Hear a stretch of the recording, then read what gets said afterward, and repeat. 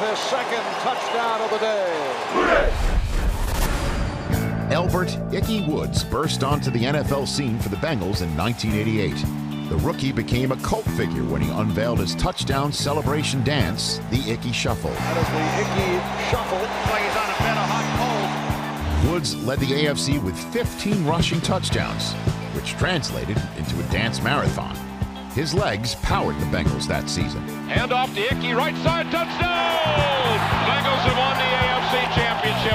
Despite his career being cut short by injuries, Woods scored 27 touchdowns in 37 games and averaged a touchdown and an Ickey shuffle every 12 carries.